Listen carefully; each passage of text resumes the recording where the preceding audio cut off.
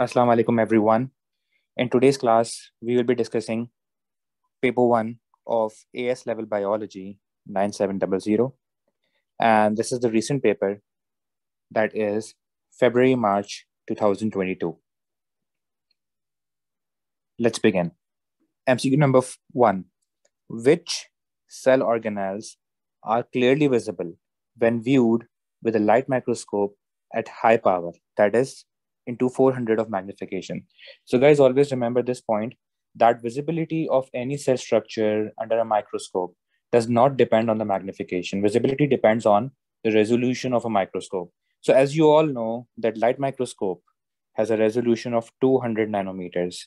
This means that structures which are larger than 200 nanometers can be seen with a light microscope, but structures which are smaller than 200 nanometer they won't be able we won't be able to see the structures with size less than 200 nanometers using a light microscope right so you can only see the structures which have a size or diameter greater than 200 nanometer using the light microscope okay so if we talk about ribosomes, ribosomes have a diameter of 25 nanometer. Endoplasmic reticulum has a diameter of 50 nanometers. Centrioles have diameter of 100 nanometers, whereas chloroplasts have diameter of 3 to 10 micrometers, which is 3000 to 10,000 nanometers. So you can observe, you can view chloroplast clearly using the light microscope, but other structures such as centrioles, endoplasmic reticulum, and ribosomes cannot be seen. So the answer is D. Let's move on to MCQ number two. Microvilli and root hairs are characteristic structures of some cell types. Which row identifies some features of a microvillus and a root hair? Guys, you should know that microvilli are found only in animal cells. They are found in animal cells. And on a cell, they're numerous. They are numerous or many on a single cell. Microvilli are basically finger-like projections of the cell surface membrane. So microvilli are numerous and they are only found in the animal cells. Whereas if you talk about the root hair, so root hair is only found in plant cells. That is the root hair cell and there is only one root hair per cell.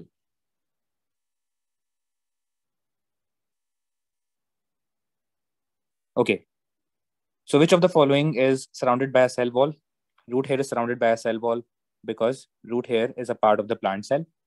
Whereas the microvilli are not surrounded by the cell wall. However, there are more than one present on a cell.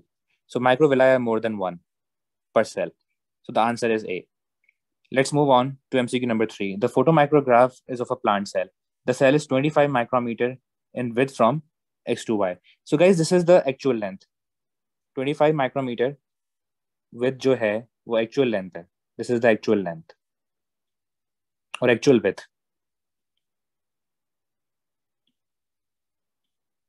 Using the scale, we can find the image width तो वो हम कैसे major करेंगे we will use a scale so guys when we use the scale over here the measurement from the scale was 5 centimeters or 50 millimeters. We have to find the magnification of the photomicrograph. So magnification is equals to image over actual. What is the image width? That is 50 millimeters. We need to convert it into micrometers by multiplying it by 1000 what about the actual width? Actual width is 25 so what will be the answer? 25 ones are 25, 25 twos are 50.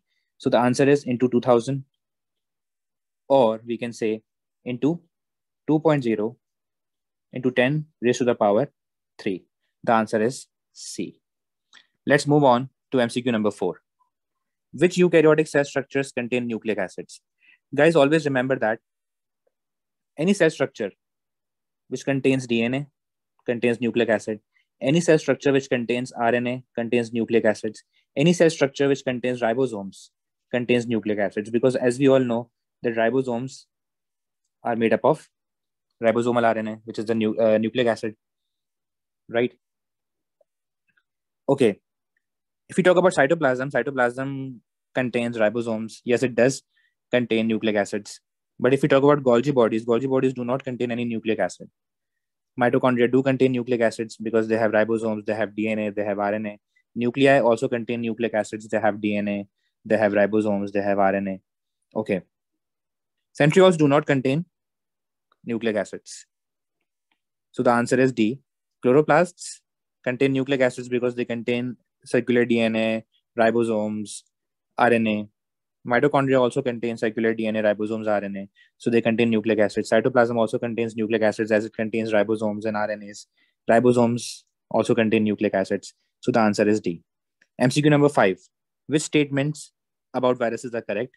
They either contain they contain DNA or RNA. This is true. Guys, vi- viruses either contain a DNA or RNA. They use host cells to synthesize virus proteins. This is true as well. Viruses enter into uh, our cells and use our cell machinery, such as the ribosomes and our enzymes, to synthesize the virus proteins. They can have a protective coat of peptidoglycan. Guys, they cannot have a protective coat of peptidoglycan. They have a protective coat of proteins. So this statement is wrong. Answer is 1 and 2 only. Answer is B. What are the features of prokaryote cells, chloroplasts, and mitochondria? If we talk about the prokaryotes, the chloroplasts, and mitochondria, they all have circular DNA. They all have ribosomes which are smaller than 80S. They have 70S ribosomes that are smaller than 80S. But if we talk about double membrane, so only chloroplast and mitochondria are surrounded by double membrane. Prokaryote cells are not surrounded by double membrane. So this is wrong for three of them, but it's right for chloroplast and mitochondria. So the answer will be B. Because ribosomes smaller than 80S and circular DNA are both the features of all these three cells prokaryotes, chloroplast, and mitochondria. Sorry, guys, uh, chloroplast and mitochondria are not the cells, they are the organelles. Prokaryote are cells. Let's move on to MCQ number seven. A student used Benedict solution to test a sample known to contain carbohydrate. At the end of the test, the solution was blue. Guys, if the solution remains blue, it means negative test with Benedict. Negative test with Benedict solution. This means that reducing sugar was absent. Which carbohydrate could be present in the sample? As you all know, guys, glucose, fructose, and maltose, they all are reducing sugars. So if they were present, they would give a positive result. The color would change from blue to green, yellow, orange, or red. However, sucrose is a non-reducing sugar. It will give negative test with Benedict's. So the carbohydrate that was present in the sample was sucrose. The answer is D. Let's move on to MCQ number eight. Sugars with a ring structure can also have a linear structure. This is the linear structure of a sugar. Okay. Which sugar molecules could be represented by linear structures in the diagram? Okay, guys, let's count the number of carbon atoms. One, two, three, four, five, six. So we have six carbon atoms. It means the sugar is hexose. This could not be pentose. Ribose and deoxyribose are pentoses. So this structure cannot be the structure of ribose or deoxyribose. However, this structure could be of glucose because glucose is a hexose. So the answer is three only. The answer is D. Let's move on to MCQ number nine. Which row matches each molecule to a type of bond that is present? Guys, if we talk about ester bond, so ester bond is only found in lipids like the triglycerides, the phospholipids. If we talk about disulfide bonds and hydrogen bonds, so guys, uh, option A and option B could not be the answer because glycerol and amylase they do not contain ester bond. However, lipids and phospholipids contain ester bonds. If we talk about hydrogen bonds, so hydrogen bonds are not found in amylopectin, however, they are found in cellulose. And disulfide bonds are found in antibody, as we all know that disulfide bond disulfide bonds hold the four polypeptide chains of uh, antibody molecule. So the answer is D. MCQ number 10. Which row shows features of a carbohydrate polymer found inside the animal cells? So guys, uh, you should know that the carbohydrate polymer that is found inside the animal cells is glycogen. So glycogen is a carbohydrate polymer found inside the animal cells. So glycogen contains alpha 1 4 glycosidic bonds, as you all know. It also contains alpha 1 slash 1 6 glycosidic bonds, and glycogen is highly branched. So the answer is A. Let's move on to MCQ number 11. The statements describe the structure of polysaccharide found in the cell walls of certain plant cells. Okay, so the polysaccharide that is found in the cell walls of certain plants is cellulose. Okay, which statements are also true for cellulose? Okay, the polysaccharide is composed of two different monosaccharides. Guys, cellulose is not composed of two different monosaccharides. It is only composed of one monosaccharide that is beta glucose. The monosaccharides are joined by 1,4 glycosidic bonds. Yes, uh, in cellulose, the monosaccharides are joined by beta 1,4 glycosidic bonds. The polysaccharide contains pentose sugars. No.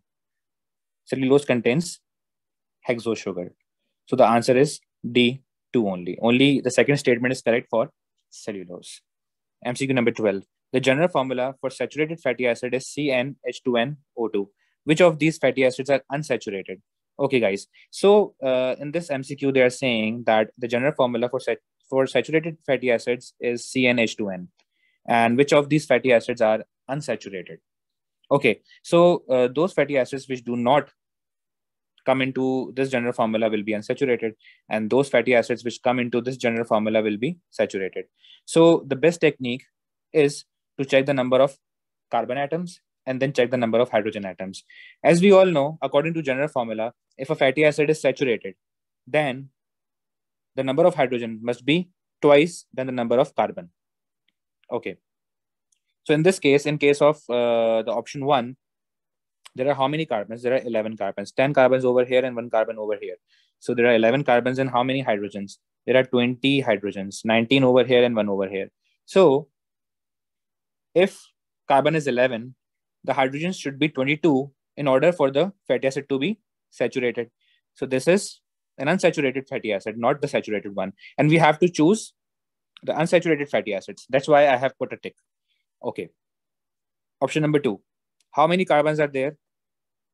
16 carbons. And how many hydrogens? 32 hydrogens. Okay. This is a saturated fatty acid. Why?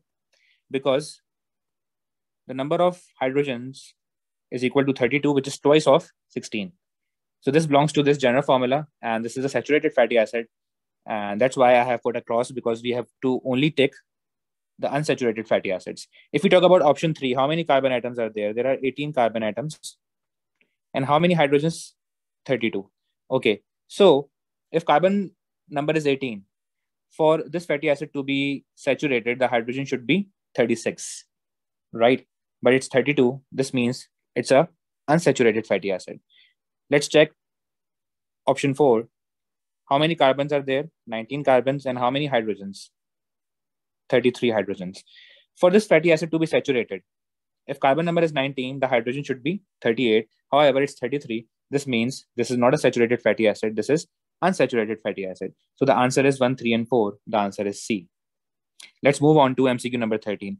What enables triglycerides to perform their functions in living organisms. So, guys, you are, you should know, you all should know that the functions of the triglycerides in living organisms is the provision of energy.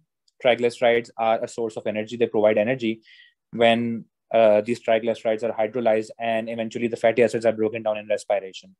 So, to provide energy, triglycerides are first hydrolyzed to make fatty acids. Then these fatty acids are broken down in aerobic respiration to produce ATP. So triglycerides are a source of energy, and triglycerides are also a metabolic uh, source of water when uh, they are first hydrolyzed and then they are broken down in respiration to produce water. Okay, so triglycerides have hydrophobic and hydrophilic regions. This is wrong for triglycerides. However, this is true for phospholipids, not for triglycerides. Triglycerides have a high ratio of carbon hydrogen bonds to carbon atoms. This is uh, the right statement because uh, the greater the carbon hydrogen bonds, the greater the energy available. when triglycerides are broken down in respiration. So these carbon hydrogen bonds are actually broken, which release energy to make ATP. So because triglycerides have high ratio of carbon hydrogen bonds as compared to carbon atoms, this means that they are a good source of energy. And this is the property that enables triglycerides to perform their function. Hydrolysis of triglycerides release metabolic water. However, this statement seems true, but it is actually false. Why? Because you have to read it very clearly. Hydrolysis of triglycerides releases metabolic water. No. When triglycerides are broken down in respiration, that then only uh, water is released. Water is produced when fatty acids are broken down in respiration. As you all know, when the substrates are broken down in aerobic respiration, carbon dioxide and water are produced. So when you hydrolyze triglycerides, you add water. You don't get water from that. So first we hydrolyze the triglycerides by adding water. Then we get fatty acids by hydrolysis. And then fatty acids are broken down in respiration to release water. So if the statement was that the triglycerides are broken down in respiration to yield water, that was the true statement, right? So the statement three over here is definitely wrong. The answer is D, two only.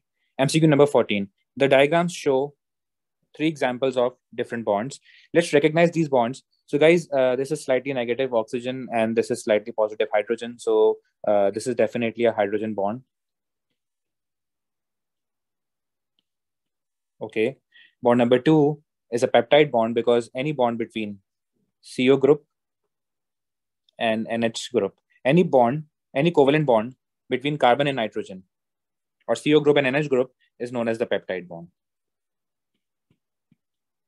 because this is the covalent bond between carbon and nitrogen. Okay. Between the carbon of CO group and the nitrogen of NH group. Okay. Bond 3 is the disulfide bond.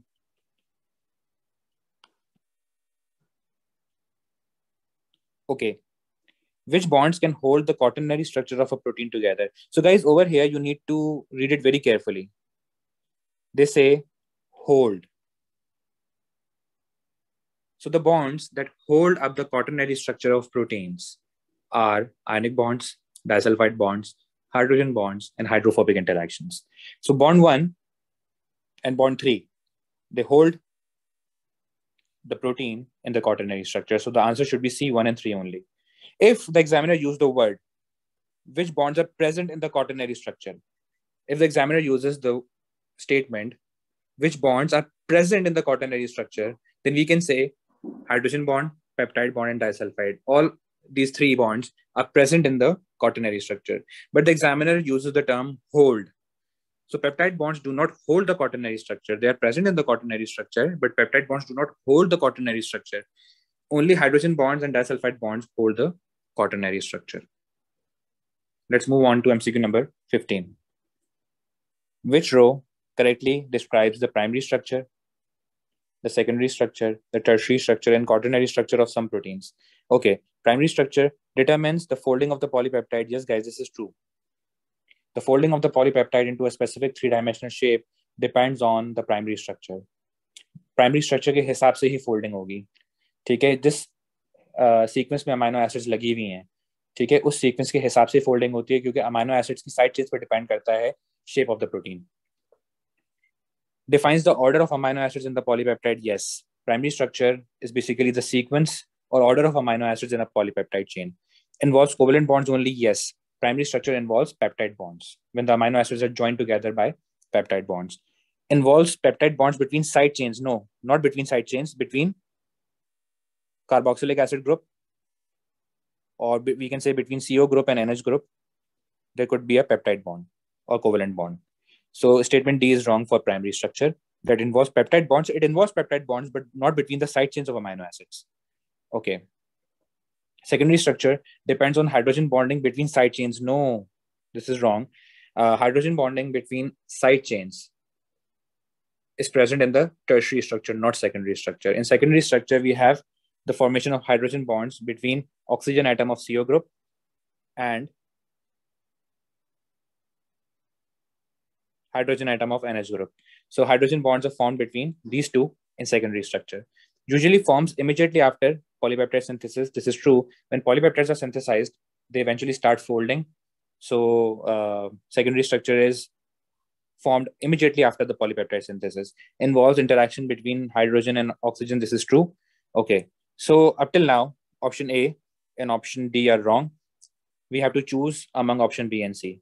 Okay, tertiary structure is held together by all types of bonds that occur in proteins. This is wrong, guys. Uh, there are a lot of bonds that occur in protein, but not all bonds are involved in the tertiary structure. For example, peptide bonds occur in proteins, but they don't but they don't hold the tertiary structure. So uh, this statement is wrong for the tertiary structure. It means C is the answer. Uh, tertiary structure is essential for the function of enzymes and receptors. This is true. Tertiary structure is essential for the function of enzymes. And uh, tertiary structure is essential for the function of enzymes and receptors because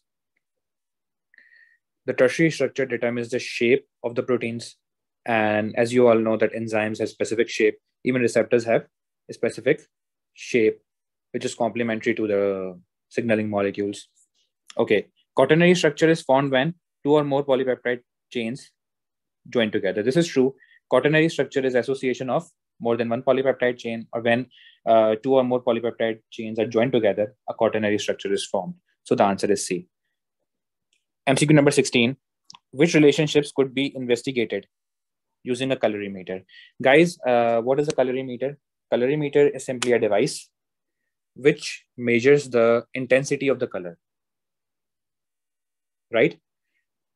Intensity of the color found in a solution. So always remember this thing कि जब भी हम kalari metre use कर रहे होते हैं, ठीक है, हम जो है वो सोल्यूशन की इंटेंसिटी मेजर कर रहे होते हैं। सही है कि जो सोल्यूशन का कलर है वो कितना इंटेंस है। Colorimeter can only be use for colours in a solution always remember this thing so whenever there is an experiment और whenever there is a reaction in which a colour compound is being produced और any reaction which involve a colour change we can use a colorimeter so which relationships could be investigated using a colorimeter the effect of light intensity on the rate at which solution of a light sensitive dye changes from green to colorless? Yes. In this reaction, there's a color change that can be recorded by the colorimeter, so we can use the colorimeter.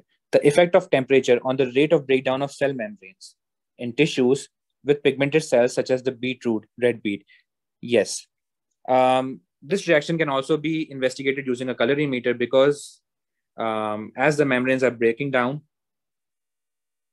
a pigment is released, a red pigment is released. So the color is changing, right? In a test tube, and we can measure the color change using the colorimeter. The effect of pH on the rate of release of oxygen from the breakdown of hydrogen peroxide by catalase. So guys, uh, if oxygen is being released, there is no color change. So we cannot investigate this reaction using colorimeter. The effect of light intensity on the rate of change of skin color of lizards that becomes paler in bright light. We can also not investigate this uh, change because uh, the colorimeter can only and only measure the intensity of the color of the solution found in the test tube. It will not measure the color change of the lizards, right? So the answer is answer is B, one and two only. Let's move on to MCQ number 17. Which transport mechanism does not require a concentration gradient to be present in order to take place, which transport mechanism does not require a concentration gradient to be present in order to take place? The answer is exocytosis. Guys, as you all know, that diffusion requires a concentration gradient. Diffusion occurs from a higher concentration to lower concentration. Osmosis occurs from a higher water potential to lower water potential. So it also requires a concentration gradient. If we talk about transpiration, transpiration is the loss of water vapor from the leaf. The water vapor diffuses across the uh, stomata. So again, that requires a concentration gradient. But for exocytosis, there is no concentration gradient. Exocytosis always occurs out of the cell, right? So there is no concentration gradient. MCQ number 18. High concentrations of ethanol. This is a very good MCQ, guys. So uh, I will be, I will have a great focus on uh, this MCQ. High concentrations of ethanol disrupt cell membrane structures by denaturing proteins and increasing the separation of adjacent phospholipid molecules. As a result, cell membranes can decrease in thickness by up to 30% and become non become more permeable. Okay, so guys, इसमें क्या कह रहे हैं वो? What are they saying? They are saying that जो high concentrations of ethanol build up हो जाती हैं, they damage the cell membrane. And how do they damage the cell membrane? और how do they disturb the cell membrane by denaturing proteins ये जो high concentration ethanol की है ये proteins को डीनेचर कर रही है। साथ में ये क्या कर रही है कि जो एडजस्टेंट फॉस्फोलिपिड मॉलिक्यूल्स है ना, उनके बीच में जो सेपरेशन है वो कम कर रही है। जैसे what is meant by adjacent phospholipid molecules in reality these are the adjacent phospholipid molecules and there is some there is some separation among the phospholipid molecules what ethanol is doing that ethanol is decreasing this separation between the phospholipids so as a result the thickness of the membrane is reduced by 30% we can see कि यहाँ पे thickness ज़्यादा है और यहाँ पे thickness कम हो गई है thickness is reduced are you getting my point okay yeast cells release ethanol as a waste product of metabolism in response to increased ethanol concentrations in their environment yeast cells are able to increase the tolerance of their cell membranes to ethanol वो क्या बता रहे हैं यहाँ पे कि जो yeast cells हैं when they metabolise they produce ethanol और uh, जो है इथेनॉल उनकी इन्वायरमेंट में बहुत ज़्यादा होती है। ठीक है ना? उनकी इन्वायरमेंट जो होती है एक्स्ट्रा सेल्यूलर इन्वायरमेंट ठीक है and even intra cellular environment उसमें इथेनॉल की कॉन्सेंट्रेशन बहुत हाई होती हैं because yeast start producing ethanol तो वो ये पूछ रहे हैं कि विच स्टेटमेंट अच्छा ये भी बता रहे हैं इसमें कि यीस्ट जो हैं they tolerate these high concentration yeast के पास कुछ ऐसे फीचर्स हैं कि जिसकी वजह से वो in high concentration of ethanol को टॉलरेट कर लेते हैं। ठीक है ना? और वो जो है उनकी मेम्ब्रेन्स इस तरह डिस्टर्ब नहीं होती। इथेनॉल का जो अफेक्ट है मेम्ब्रेन्स पे वो रिड्यूस हो जाता है।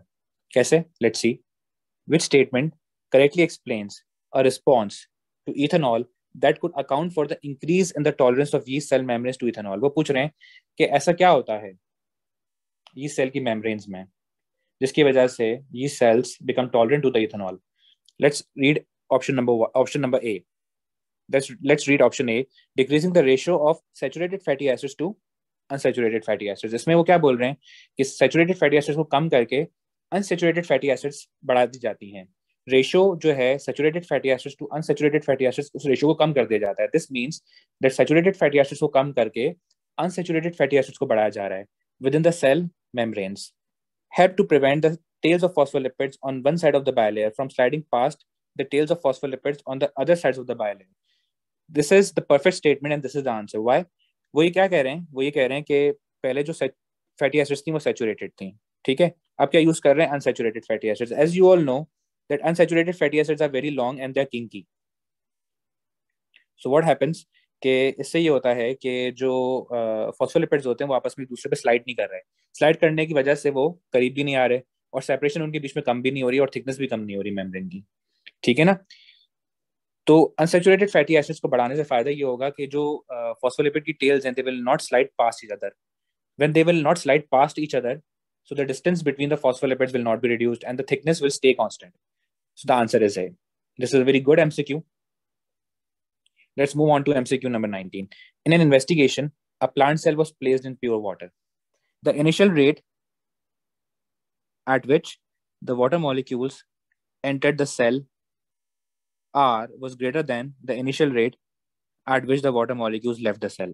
Okay, so uh, what they're trying to say is that there is a cell which is placed in pure water. So they're saying that the initial rate R by which the water is entering the cell is far greater than the rate at which the water is coming out. So guys over here the cell is placed in pure water cell जो है वो pure water में है and you and as you all know that pure water has highest pure water has highest water potential right so whenever a cell is placed in pure water जब भी कोई cell pure water में place होगा तो obviously um, जो water है, ज़्यादा water cell के अंदर जाएगा और कम वाटर सेल से बाहर जाएगा।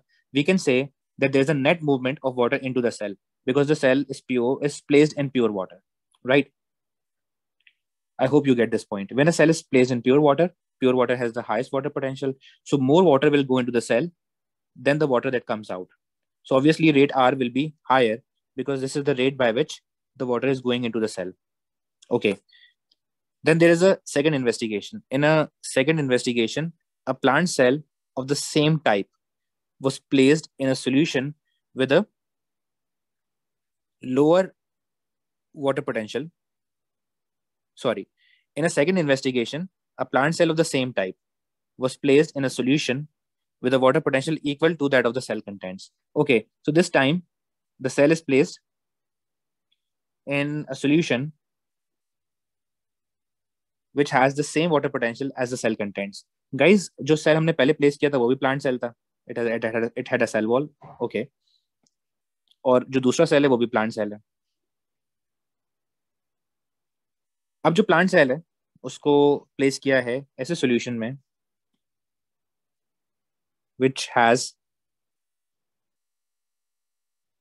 the same water potential as the cell contents.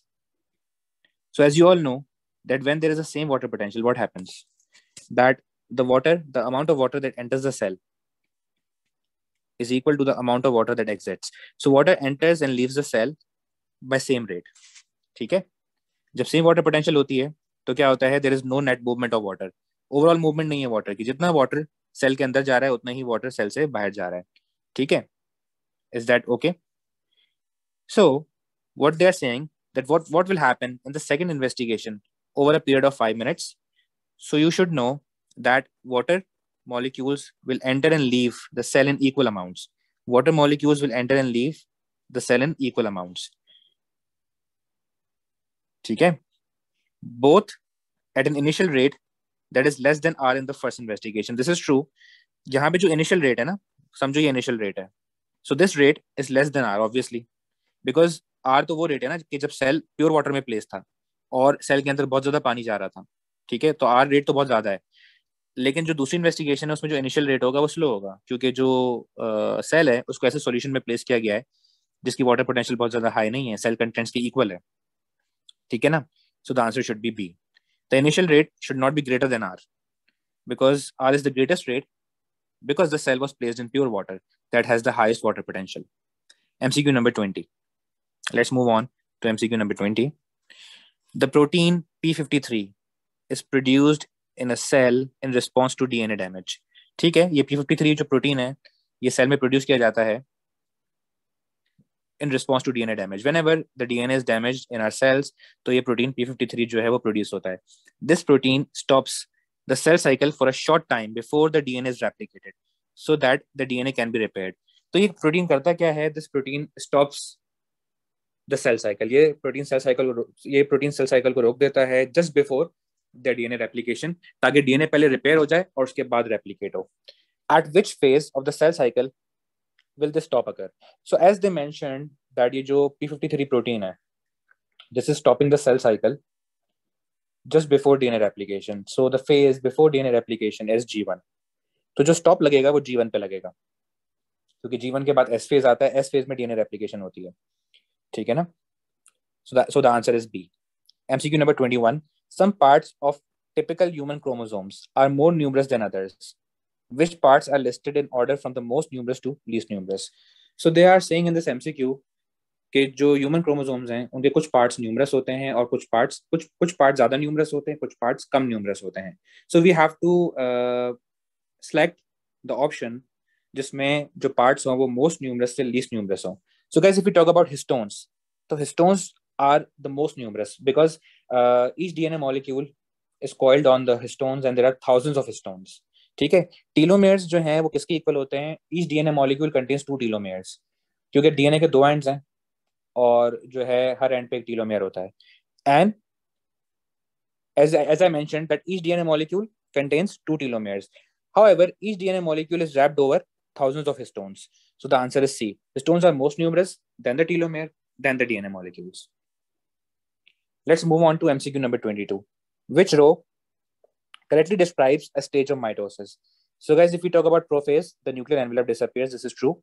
If we talk about metaphase, the nuclear envelope is not present. This is true as well. If we talk about anaphase, the nuclear envelope does not begin to reform. No. Uh, nuclear envelope begins to reform in telophase. In telophase, uh, nuclear envelope reforms. This is true. So option C could not be the answer. Okay.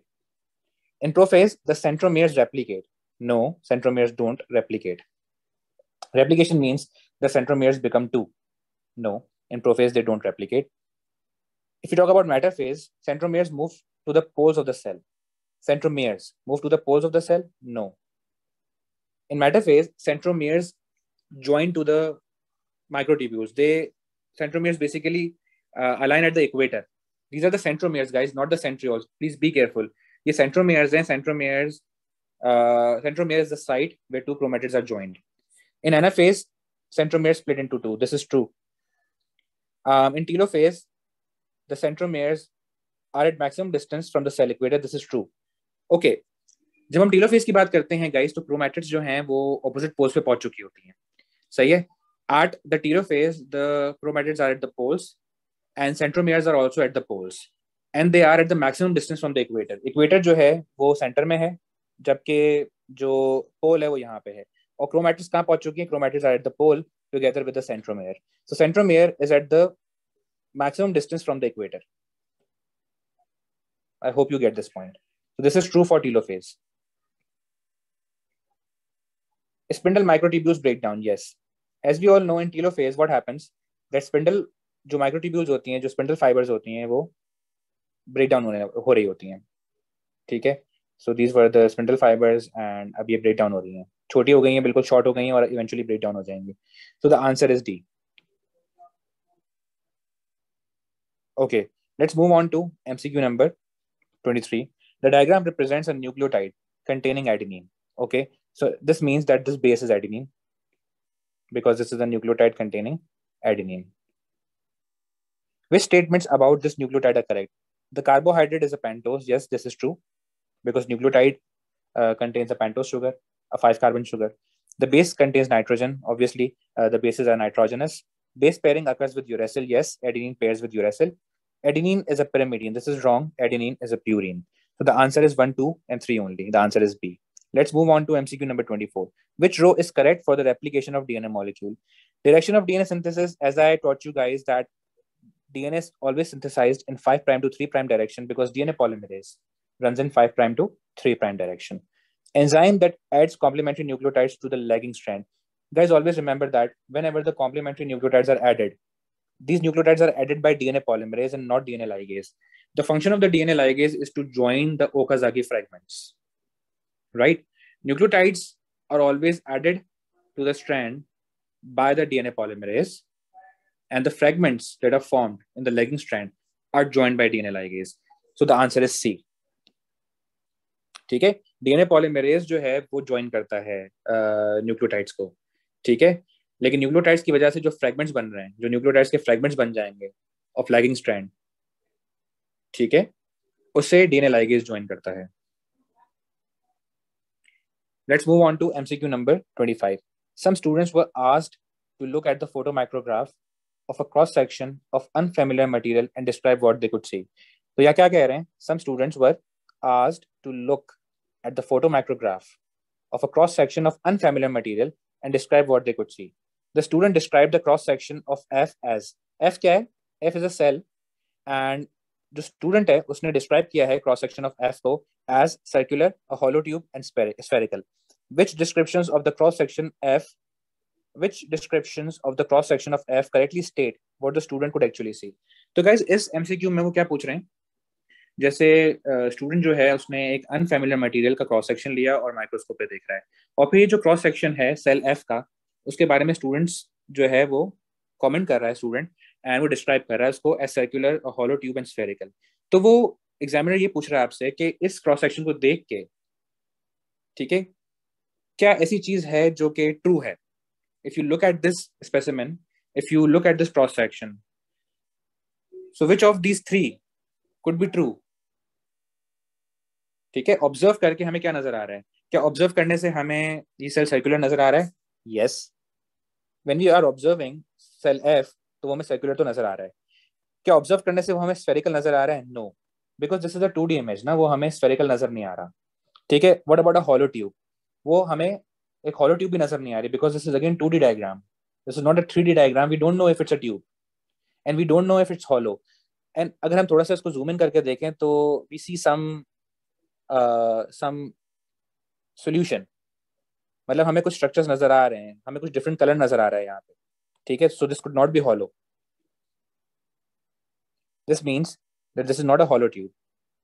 So the answer is c one only. By looking at the specimen, we can only comment that the cell is circular. बाकी हम देख के कुछ और comment नहीं कर सकते। अगर स्टूडेंट कमेंट कर रहा है तो वो गलत कमेंट कर रहा है। ठीक है? तो वो ये लिखा हुआ है कि which description of the cross section of F correctly state for the student could actually see actually student को क्या नज़र आ रहा है कि ये सेल है सर्कुलर है, और कुछ नज़र नहीं आ रहा उसको। Let's move on to MCQ number 26 the diagram shows the relationship between phloem sieve tube elements, xylem vessel elements, and companion cells ठीक है? तो ये जो एम सी क्यू है, इसमें हम रिलेशनशिप देख रहे हैं between the sieve tube elements elements elements and the companion cells which row correctly identifies what could be represented by the numbers one two three four and five okay if one is the companion cell and three is the phloem sieve tube element if one is the companion cell and three is the phloem sieve tube element तो क्या दोनों के पास endoplasmic reticulum है? Yes this is true if one is the companion cell and second is the phloem sieve tube element तो guys as you all know that companion cells and phloem sieve tube elements दोनों के पास endoplasmic reticulum तो होता ही है। ठीक है? Okay if phloem sieve tube element is three and five is xylem vessel elements. So they do they have no nucleus yes four is also true ठीक है? जो फ्लोम सेफ़ ट्यूब एलिमेंट्स हैं और जाइलम वेसल एलिमेंट्स हैं, ठीक है? इन दोनों के पास न्यूक्लियस नहीं होता। So the answer is A Let's move on to MCQ number 27. Why does an air bubble in a xylem vessel element stops the flow of water? So guys, always remember this point कि कभी भी अगर xylem vessel में air bubble आ गया है whenever an air bubble comes in the xylem vessel the flow of water stops why क्योंकि जो water का continuous column है वो break हो water का continuous column किस तरह होता है कि water molecules जो top पे होते हैं the water molecules which are are at top they're attracting the water molecules which are at the bottom ठीक है तो एक continuous column बनता है water molecules are attracting each other by hydrogen bonds and this is called cohesion तो इस cohesion में break आ जाएगा, ठीक है? Whenever an air bubble comes there is a loss of cohesion there is no loss of adhesion why because water molecules can still can still adhere और attract to the walls of the xylem vessel right क्योंकि जो xylem vessel की walls हैं they have lignin they have cellulose तो उससे water molecule still attract होंगे, ठीक है? एडेशन में कोई लॉस नहीं आएगा। लॉस कोहेजन में आएगा क्योंकि एयर बबल आ गया वाटर मॉलिक्यूल्स के बीच में। जिसकी वजह से वाटर मॉलिक्यूल्स की कोहेजन ब्रेक हो गई। Collapse of xylem vessel element no air bubble आने से जाइलम वेसल एलिमेंट कोलैप्स नहीं करता। What is meant by collapsing of xylem vessel element के जाइलम वेसल एलिमेंट बंद हो जाए शट हो जाए। उसका ल्यूमिन जो है वो शट हो जाए। ठीक है? अगर जाइलम वेसल एलिमेंट का ल्यूमिन बंद हो जाए या ल्यूमिन लॉस हो जाए या ल्यूमिन शट हो जाए दैट इज़ कॉल्ड कोलैप्स तो एयर बबल आने से कोलैप्स नहीं होती जाइलम वेसल कभी भी। So the answer is two only that is D MCQ number 28. Which changes to the water potential and the volume of the solution in phloem sieve tube occurs when amino acids are moved into the sink from the phloem sieve tube. Okay, guys, always remember this point. If this is a sieve tube element, this is a sieve tube element, for example.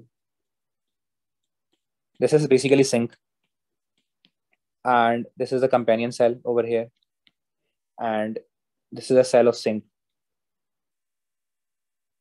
So what happens when the amino acids leave the sieve tube? Whenever amino acids leave the sieve tube, what happens? The water potential in the sink rises. ऐसे ही पूछ रहे हैं ना वो कि which changes to the water potential and the volume of solution in the phloem sieve tube occur when amino acids are moved into the sink from the phloem sieve tubes. So amino acids are moving into the sink from the uh, phloem sieve tubes. The water potential obviously rise करेगी the water potential of the phloem sieve tube becomes higher. And what will happen, because the water potential becomes higher, the water will also leave the sieve tube element by osmosis and go into the companion cell or the sink. तो क्या होगा कि जो volume of solution in the phloem sieve tube it will decrease. So, the answer is A. Let's move on to MCQ number 29 Which feature of some xerophytic leaves reduce the rate of transpiration by decreasing the water potential gradient between the internal leaf surface and the atmosphere हमेशा याद रहे guys कि अगर water potential gradient को कम करना है if you want to decrease the water potential gradient so you need to increase humidity outside the guard cells और द स्टोमेटा अगर स्टोमेटा के आसपास हम एक ह्यूमिड रीजन क्रिएट कर दें या हम कह सकें कि जो स्टोमेटा है उसके आसपास वाटर um, ट्रैप हो जाए either because of the hairs or because of the sunken stomata तो उससे क्या होता है कि वाटर पोटेंशियल ग्रेडियंट रिड्यूस हो जाता है। ठीक है? So the answer should be C the stomata located in the sunken pits on the leaf surface. When the stomata are located in pits तो क्या होता है कि स्टोमेटा डीप डाउन होते हैं। सही है जिसकी वजह से क्या होता है कि एक पिट बन जाता है जहाँ पे यूजुअली ट्राइकोम्स भी होते हैं। सही है? और वो आ, क्या कर रहे होते हैं? वाटर वेपर को ट्रैप कर रहे होते हैं वहाँ पे। जिसकी वजह से वाटर वेपर की कॉन्सेंट्रेशन जो है स्टोमेटा के बाहर बढ़ जाती है और स्टोमेटा के अंदर भी हाई होती है तो इससे क्या होता है कि जो कॉन्सेंट्रेशन होती है वो दोनों साइड पे ऑलमोस्ट इक्वल हो जाती हैं जिसकी वजह से कॉन्सेंट्रेशन ग्रेडियंट रिड्यूस हो जाता है वाटर वेपर का ठीक है so the answer is C let's move on to MCQ number 30 the diagram shows a cross section through a mammalian heart which chambers of the heart are represented by GNH. Now, this is a very good diagram. And uh, guys, let me tell you one thing that these chambers could not be atria. ठीक है वो ये पूछ रहे ना कि कौन से चैम्बर्स हैं ये ये एट्रिया नहीं हो सकते because these chambers have thick walls and जो चैम्बर एच है उसकी वॉल तो काफ़ी थिक है so this means that H is definitely left ventricle and left ventricle के एडजेसेंट जो होता है वो राइट right वेंट्रिकल होता है ये एट्रिया तो हो नहीं सकते क्योंकि एट्रिया की वॉल्स बहुत थिन होती हैं so H is left ventricle and G is right ventricle. The answer is D. Let's move on to MCQ number 31. Blood, guys, this is a very good MCQ. Blood entering the heart from the vena cava passes through or past several structures before entering the lungs अब इसमें क्या बता रहे हैं कि जो blood है जब वो वीना कावा से हार्ट में एंटर करता है तो वो बता रहे हैं कि वो बहुत सारे स्ट्रक्चर स्ट्रक्चर्स के थ्रू पास करता है और आ, उनके करीब भी पास करता है blood passes past the several structures. This is very important. Five of these structures are included in the list. After arranging these five structures in the correct order of the blood flow from the vena cava to the lungs, which structure will be the third? वो पूछ रहे हैं कि इसमें से five structures जो हैं वैसे तो बहुत सारे स्ट्रक्चर्स हैं यहाँ पे लेकिन जब ब्लड फ्लो कर रहा है फ्रॉम द वीना कावा into the heart and then from the heart to the lungs तो फाइव स्ट्रक्चर्स के थ्रू वो क्रॉस कर रहा है या उनके पास्ट क्रॉस कर रहा है यानी उनके करीब से क्रॉस कर रहे हैं तो उन पाँच स्ट्रक्चर्स को हमें सीक्वेंस में लिखना है करेक्ट ऑर्डर में लिखना है और जो थर्ड ऑर्डर होगा वो हमें बताना है ठीक है So as you all know, guys, whenever uh, the blood enters the heart from the vena cava, it enters the right atrium, right? So right atrium is not mentioned over here. But as you all know, that right atrium के entrance पे क्या होती है sinoatrial node. Always remember that whenever the blood enters into the right atrium, from the vena cava, it will first cross the sinoatrial node and then it will enter the right atrium. ठीक है बात समझ में आ रही है okay okay? तो जो पहला स्ट्रक्चर uh, होगा जिसके थ्रू या जिसके थ्रू नहीं, जिसके करीब से ब्लड पास करेगा दैट इज़ साइनोएट्रियल नोड और फिर साइनोएट्रियल नोड से ब्लड कहाँ जाएगा? राइट एट्रियम में। अब वो राइट एट्रियम से कहाँ जाएगा? राइट वेंट्रिकल के अंदर। लेकिन उससे पहले वो किसे क्रॉस करेगा? एट्रियोवेंट्रिकुलर नोड को, क्योंकि atrioventricular node is near the tricuspid valve तो पहले ट्राइकस्पिड वाल्व को क्रॉस करेगा ना? तो एट्रियोवेंट्रिकुलर नोड को क्रॉस करेगा। ठीक है? उसके बाद कैसे क्रॉस करेगा? उसके बाद जाएगा राइट वेंट्रिकल में। लेकिन right ventricle is not in the option but as we all know कि राइट वेंट्रिकल की जो सेप्टम है राइट वेंट्रिकल की जो सेप्टम है, उसमें परकाइन टिश्यू है। So blood will flow past the Purkinje tissue because the right ventricle septum of the right ventricle has Purkinje tissue और फिर उसके बाद कहाँ जाएगा? It will then pass the semilunar valve and go into the pulmonary artery. So these are the five structures which are included in the list.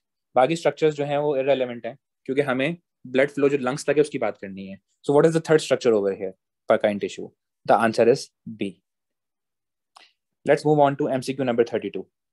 The bar charts show the quantity of endothelial tissue, elastic tissue, and the muscle tissue in the walls of the three blood vessels P, Q, and R. which row correctly identifies the three blood vessels. Okay guys. तो P जो है उसमें muscle tissue ज़्यादा है. You can see sorry P में muscle tissue नहीं. Endothelial uh, tissue तीनों में कांस्टेंट है. ऐसे ही होता है एंडोथीलियल टिश्यू तो सारी ब्लड वेसल्स में कांस्टेंट होता है उसकी जो थिकनेस होती है. If you talk about muscle tissue तो if you talk about elastic tissue तो पी में इलास्टिक टिश्यू ज़्यादा है. क्यू में इलास्टिक टिश्यू थोड़ा सा कम है और आर में सबसे कम है. But if you compare P and Q तो पी में मसल टिश्यू कम है और क्यू में ज़्यादा है. This means that P and Q both are arteries क्योंकि जब भी अगर किसी वेसल के अंदर इलास्टिक टिश्यू ज़्यादा हो या मसल टिश्यू ज़्यादा हो वो डेफिनेटली आर्टरी होगी। Because veins have less elastic tissue and less muscle tissue ठीक है? तो पी और क्यू डेफिनेटली आर्टरीज हैं because they have P has high elastic tissue and Q has high muscle tissue और साथ में पी के पास मसल टिश्यू भी अच्छा खासा है, ऐसी बात नहीं है। और क्यू के पास भी इलास्टिक टिश्यू अच्छा खासा है। R जो है उसके पास elastic tissue भी कम है और muscle tissue भी कम है तो R is definitely a vein but P and Q both are arteries uh, P is an elastic artery because it has more elastic fibers than muscle tissue and Q is muscular artery because it has more muscular tissue than the elastic tissue the answer is A MCQ number 33 the maximum pressure in each of the four chambers of the healthy human heart was recorded during one cardiac cycle. The maximum pressures recorded were 3 millimeters of mercury, 10 millimeters of mercury, 25 millimeters of mercury and 120 millimeters of mercury. तो guys इस MCQ में वो क्या कह रहे हैं कि जो हार्ट के फोर चैम्बर्स हैं उनमें जो मैक्सिमम प्रेशर्स थे वो रिकॉर्ड किए गए थे। ठीक है ना? और ये चार प्रेशर्स आए थे क्योंकि चार चैम्बर्स हैं। Guys always remember this point कि जो लेफ़्ट वेंट्रिकल का प्रेशर है मैक्सिमम प्रेशर्स की बात कर रहा हूँ। क्योंकि प्रेशर तो चेंज होते रह, रहते हैं ना। प्रेशर तो चेंज होते रहते हैं। जब जब चेंबर रिलैक्स कर रहा होता है तो प्रेशर उसमें बहुत कम हो जाता है। जब चेंबर कॉन्ट्रैक्ट कर रहा होता है तो प्रेशर मैक्सिमम हो जाता है। If you talk about the max pressures when when the chambers are contracting तो हमेशा याद रहे कि जो प्रेशर लेफ़्ट वेंट्रिकल का होता है it's greater than the pressure of right ventricle is greater than the maximum pressure of left atrium is greater than the maximum pressure of right atrium हमेशा याद रहे कि देखो, वैसे तो चेंबर्स के प्रेशर्स चेंज होते रहते हैं। कभी कभी ऐसा भी होता है कि लेफ़्ट एटीएम का प्रेशर लेफ़्ट वेंट्रिकल से ज़्यादा होता है। बट अभी हम बात करें मैक्सिमम प्रेशर्स के। अभी हम सारे चेंबर्स की तब बात करें जब सारे चैम्बर्स जो है अगर कॉन्ट्रैक्ट करें और में जो मैक्सिमम प्रेशर जनरेट हो, हम उसकी बात कर रहे हैं। तो हमेशा याद रहे कि लेफ़्ट वेंट्रिकल में जो मैक्सिमम प्रेशर जनरेट होता है वो सबसे ज़्यादा होता है। Then comes the right ventricle then comes the left atrium and then comes the right atrium so if we put the values तो 120 मिलीमीटर ऑफ़ मर्क्यूरी जो है वो प्रेशर कौन जनरेट करता है? 120 millimeters of mercury is the pressure generated by the left ventricle when it contracts. This is the maximum pressure. This is the maximum pressure generated by left ventricle. Right ventricle का जो maximum pressure generated होगा वो कितना होगा? It will be 25 millimeters of mercury. What about left atrium? Left atrium का होगा 10 millimeters of mercury. And what about the right atrium? The lowest 3 millimeters of mercury. So you should know this point. This is very important. Okay, which value was recorded for the right ventricle? The answer is 25 millimeters of mercury. The answer is C. Let's move on to MCQ number 34. The graph shows the pressure changes in the three structures of right side of the heart during the cardiac cycle. Guys, as you all know that मैंने तुम लोगों को तुम सबसे बहुत दफ़ा कहा था कि लेफ़्ट साइड का ग्राफ तो वो देते ही हैं जो हार्ट का लेफ़्ट साइड है left atrium left ventricle aorta इसे ग्राफ्स तो वो हमेशा देते हैं ठीक है ना? यानी जो प्रेशर चेंज हो रहा होता है लेफ़्ट एट्रियम में लेफ़्ट वेंट्रिकल में अयोटा में, जो लेफ़्ट साइड है हार्ट का, उसके प्रेशर चेंजेस तो बहुत दफ़ा आ चुके पेपर में। I told you guys that pressure changes on the right side of the heart भी आ सकता है। आई टोल्ड यू गाइज़ और शेप बिल्कुल सेम होगा। ठीक है? जिस तरह प्रेशर चेंज हो रहे होते हैं लेफ़्ट साइड पे, उसी तरह प्रेशर चेंज हो रहे होते हैं राइट साइड पे। सही है? ठीक है? बस ये है कि राइट साइड पे कंपेरेटिवली प्रेशर लोअर होता है और लेफ़्ट साइड पे प्रेशर हायर होता है। तो ग्राफ की जो हाइट होगी वो थोड़ी सी कम होगी। अब वो पूछ रहे हैं कि what is represented by the line labelled T so as I told you guys कि जो प्रेशर सबसे कम रहता है, वो प्रेशर किसका होता है? एट्रियम का। जो प्रेशर बहुत ज़्यादा फ्लक्चुएट करे।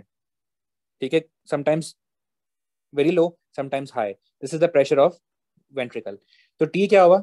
Obviously pulmonary artery because right side पे, जैसे लेफ़्ट साइड पे, आप सबको याद होगा कि लेफ़्ट साइड पे लेफ़्ट एट्रियम होता है। लेफ़्ट वेंट्रिकल होता है और आयोटा होता है। इसी तरह राइट साइड पे क्या है? Right atrium right ventricle and pulmonary artery so ये जो टी लाइन है, अगर लेफ़्ट साइड होता तो ये टी लाइन होती आयोटा के आयोटा का pressure but because this is the right side this T line is the pressure of pulmonary artery so T represents the pressure changes in the pulmonary artery the answer is A if you talk about MCQ number 35 which statement has to explain why there is no cartilage in the walls of the bronchials ठीक है? कौन सी statement जो है वो best explain करती है कि bronchioles की वॉल में कार्टिलेज नहीं है। Cartilage would make the bronchioles to narrow guys this is not true क्योंकि कार्टिलेज अगर ब्रोंकियोल की वॉल में होती तो उससे क्या होता है कि ब्रोंकियोल वाइड हो जाता है ना। मतलब कार्टिलेज तो बिल्कुल आउटर लेयर बनाती है हमेशा ठीक है? तो cartilage does not form the inner layer तो उससे ब्रोंकियोल नैरो नहीं होता। This is the wrong statement Gases must diffuse across the walls of the bronchiole. No, gases never diffuse across the walls of the bronchiole. Gases जो है वो alveoli की wall के through diffuse करती हैं. Smooth muscle is sufficient to support the walls of the bronchiole. This is true. Cartilage का जो function होता है ना, वो ये होता है कि cartilage supports the walls of the trachea and bronchi जब ये कार्टिलेज उनमें होती है ठीक है ना ब्रोंक्यूल्स जो हैं, उनके वॉल्स में स्मूथ मसल ही काफ़ी ज़्यादा है और वही सपोर्ट कर देता है ब्रोंक्यूल की वॉल्स को तो कार्टिलेज की नीड नहीं है the answer is C let's move on to MCQ number 36 द photomicrograph shows a cross section of a part of the gas exchange system of mammals. ठीक है? What is shown by the line labeled V? Guys uh, ये जो आपको air uh, spaces नज़र आ रहे हैं ठीक है? हमेशा ये शेप याद रखना। ये जो छोटे छोटे एयर स्पेसेस नज़र आ रहे हैं दीज आर एल्विलाई ठीक है? राइट ये सब एल्विलाई हैं। ओके एल्विलाई के बीच में you can see a large structure ठीक है? जिसकी जो एपिथीलियम है वो वेवी है। ठीक है ना? एंड साथ में वेरी थिन वॉल्स तो जब बहुत थिन वॉल्स हैं, इसका मतलब कार्टिलेज नहीं है। दिस इज़ अ ब्रोंक्यूल ठीक है? V is bronchiole there is no cartilage ये एल्विलस नहीं है, क्योंकि एल्विलस तो हमें छोटे छोटे नज़र, छोटे छोटे नज़र आ रहे हैं। छोटे छोटे जो एयर स्पेसेस हैं, वो हमें साइड में नज़र आ रहे हैं। दीज आर द एल्विलाई ठीक है? ये ब्रोंकस नहीं हो सकता, क्योंकि कार्टिलेज नहीं है। ट्रेकिया नहीं हो सकता, क्योंकि कार्टिलेज नहीं है। This is simply a bronchiole so V represents the diameter of a bronchiole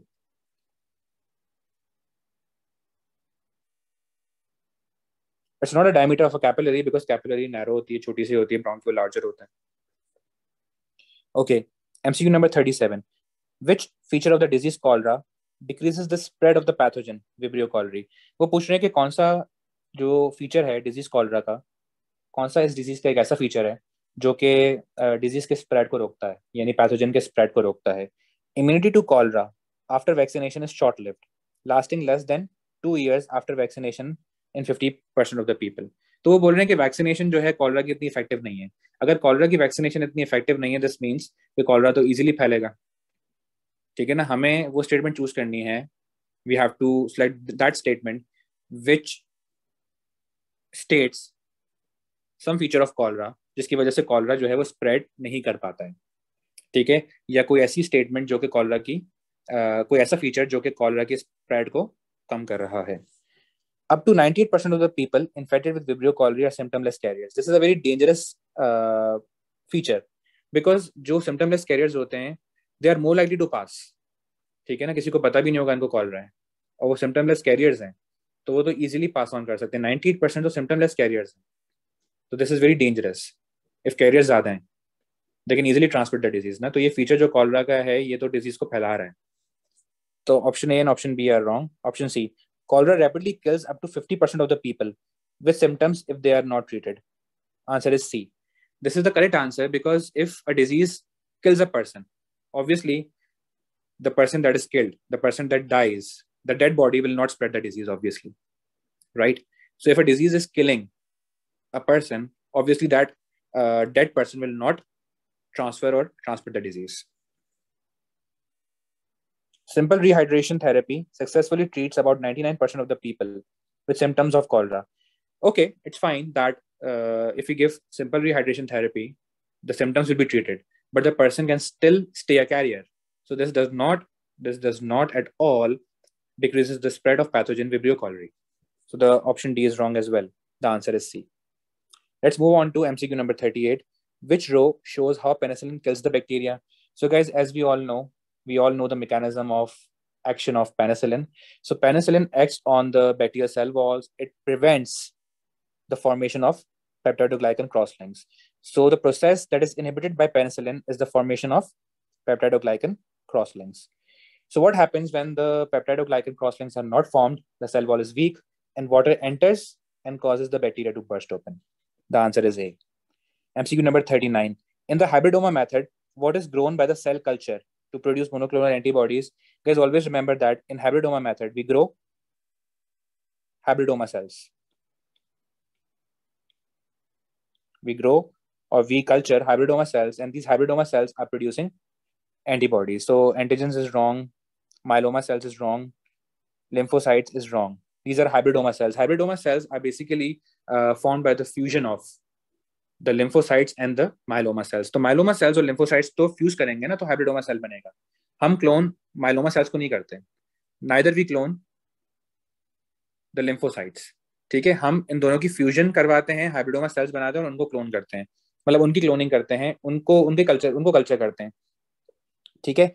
So over here hybridoma cells are represented by clones ठीक है? I am repeating this MCQ I am explaining this MCQ again वो पूछ रहे हैं कि hybridoma जो method है, उसमें हम कौन से सेल्स को कल्चर करते हैं? कौन से ऐसे सेल्स हैं जिनको हम कल्चर करते हैं और वो सेल्स मोनोक्लोनल एंटीबॉडीज बनाते हैं? The answer is hybridoma cells because what we do we fuse the plasma cells with myeloma cells to form hybridoma cells और फिर उन हाइब्रिडोमा सेल्स को हम कल्चर करते हैं। तो बेसिकली वो जो हाइब्रिडोमा सेल्स होते हैं, वो सब एक जैसे होते हैं क्लोन्स होते हैं। So the option is B क्योंकि बाकी कोई और ऑप्शन मैच नहीं कर रहा। ठीक है ना ओवर हेयर जो क्लोन्स है उससे वो रिप्रेजेंट uh, कर रहे हैं हाइब्रिडोमा सेल्स को MCQ number forty which type of immunity does a baby have at birth so guys when the baby is born the baby contains the antibodies from the mother okay so when the antibodies are coming from the mother that is natural immunity and this is passive not active so the answer is d passive natural immunity um, that concludes our paper thank you everyone for uh, watching. If you have any queries do let me know. Allah hafiz